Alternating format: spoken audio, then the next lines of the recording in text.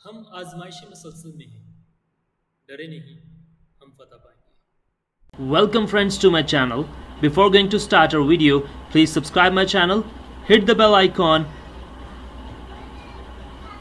and don't forget to like and share my video with your friends. Thank you. इंसान अपनी पैदाइशी से आजमाइश में है जब वो पैदा हुआ तो खुदा ने उसे बाग में ही रखा, जो कि एक आजमाइश थी। मुख्तलिफ़ मराहल में से वो गुज़रा और कुछ में कामयाब हुआ और कुछ में नाकाम हुआ। इसी तरह बात के ख़ास व आम इंसानों के साथ भी ऐसा ही होता रहा।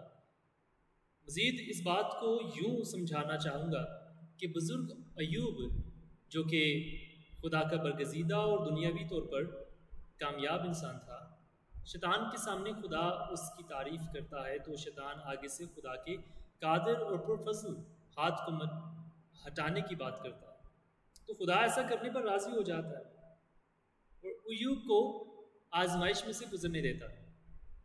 अजीज़ो, आज हम में से बहुत से लोग ये शिकायत करते हैं कि हमारे ही साथ ऐसा क्यों होता है? हम ही क्यों? हम अगर खुदा के प्यारे हैं तो खुदा हमें क्यों मसाइब में डालता है? इसी तरह के बहुत से सवाल इंसान के जहन में गर्दिश करते हैं, या वो वसवसों का शिकार रहता है। बताता चलूँ कि हमें युग को भूलना नहीं। युग का वाक़ इसीलिए बताया गया या उसकी मिसाल इसीलिए दी गई कि अगर खुदा का वो बरगजीदा बंदा, जो दुनियावी तौर पर कामयाब इंसान था, आजमाइशों में से गुजर सकता है तो हम क्यों नहीं? और इससे भी बढ़कर अगर खुदावन यशु आजमाइशों और मसाइब का शिकार हो सकता है तो हम क्यों नहीं? याद रखें, ये दुनिया आजमाइश मुसलसल है। इसमें से हमें गुजरना ज़रूर है। में ढूंढिए अपने या गैर मजाहब में ऐसा एक इंसान, जिसका ये दावा हो कि वो कभी दुखों में से नहीं गुजरा। यकीन जानिए, आप हैरान रह जाएँगे। कि आपको ऐसा कोई एक फ़र्द भी नहीं मिलेगा।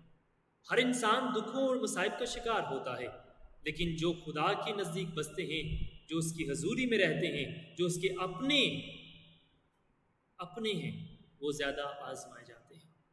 खुदा यशु ने कभी ये दावा नहीं किया कि उसके मानने वालों को खुशियाँ ही खुशियाँ नसीब होंगी, बल्कि वो तो इसके बरअक्स ये कहता है कि मेरे मानने वालों को अपनी सलीब उठानी पड़ेगी। लेकिन सिर्फ़ एक यशु ही है जो तसल्ली के जुमले भी अदा करता है।